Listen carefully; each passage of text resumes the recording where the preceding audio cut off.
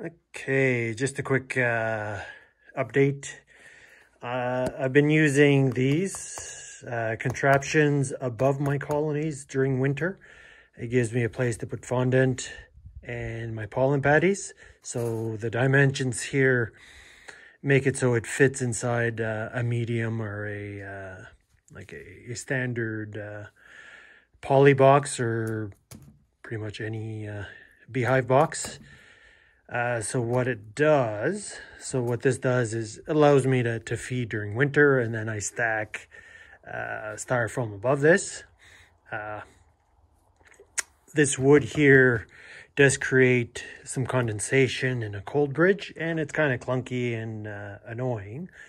So my first iteration a couple years ago was, this was actually about six inch thick and it was full of uh, wood shavings, so like chicken, uh, like chicken wood shavings for bedding and stuff.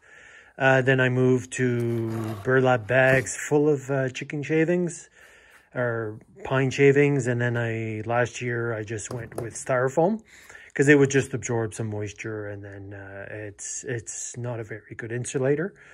So I went to styrofoam inserts. Uh, and then you can see there there is, they still did fairly well and they do well. Uh, but I'm just trying to simplify and make things as easy as possible. So new iteration is I'm scrapping these. Uh, this was low profile.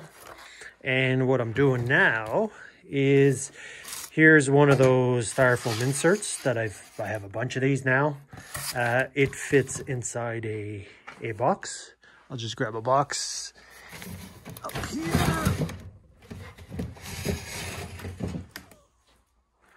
Okay. So I'll just put it on my, my saw. So what this does is styrofoam fits perfectly inside of my boxes and it's it pretty much goes all the way down. And I had those inserts which are shimmed just above uh, the top bars. And it would create like like R30 R40 above the cluster. So what I'm doing now to eliminate those uh, wooden contraptions uh, up there is and to reduce the uh, I guess the the bridging the thermal bridging is I've got plenty of these. So I'm going to cut out, I built myself a little frame that I'll insert inside the styrofoam. So I'll cut this out. Uh, here's a pollen patty. So what I did is pollen patty can be squeezed in there. Uh, I can put fondant in. Uh, the size of the hardware cloth is as long as bees can get through. I had these uh, to protect some of my shrubs from uh, voles, so I'm just reusing materials. Uh, this is just ripped one by four. So basically on my saw here, my table saw, I just rip some uh, one by fours. Uh, and what I'll do is I'll rip uh, some shims bars that I'll place on top of the top bars in the top box so that this doesn't sit right on the, the top of the box, but it'll be probably 3 eighths, half inch above.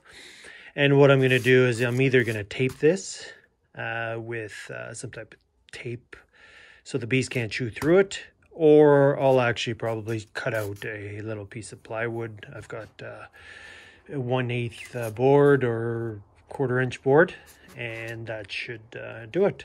So basically this is just one by four with some brad nails in the end a little bit of hardware cloth stapled onto the back.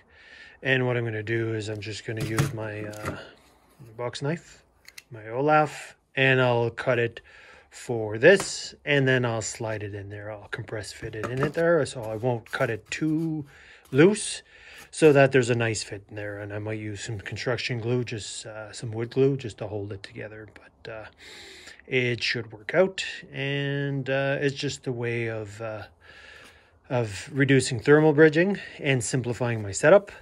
And then you'll notice that I don't really feed fondant uh, at this time of year or to get the bees ready for winter. So what I'll be able to do is just put in a piece of 2x4 that sits like that and I can just use pliers to pull it up and it'll plug it up. I'll just seal this with uh, some cloth, some wool or something and uh, it should keep it warm. And then I'll stack non-cut out uh, sheets. I'll probably use deeps this year. So I'll be able to put uh, probably our another three another six inches of styrofoam above it. So what I'm going to do is I'm just going to cut it and then I'll uh, bring the video back. Okay, I got it done and I taped it up. Uh, so again, you can see how it's just a 2 by 4 So uh, pollen patty is the same width, it's 3.5 inches by 12 inches. And then you just build a little uh, 2-inch frame if you use 2-inch styro. Uh, and then over here, for example, if I do that, basically I can just pull it out. Uh, this will be wedged in in the winter into the top of the hive because uh, I don't want to feed. I'll put some some 3 8 half inch shims that I made on the top bars of the top box. I'll put this on top uh, like that. And then you can throw on either medium, depending on how much insulation you want. Uh, I want more than less.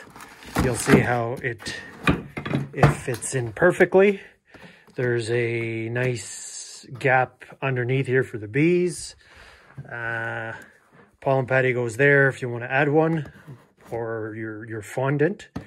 And what it does now is it's completely surrounded by styrofoam. I've taped the edges so that uh, the bees can't chew it. Uh, this goes like this, snug. And then, for example, this is a deep box. So technically, I can stack, see how it's pretty tight. I can stack uh, probably another three. So I can put lots of insulation on top of my colonies. Uh, I have enough for for uh, 11 colonies. I've had up to 11 colonies. So basically I've got plenty of these cut up already and they slide in. And this is how I'm to get my uh, tops super insulated. And I guess, again, table saw is handy. Some nice little shims, nothing too complicated.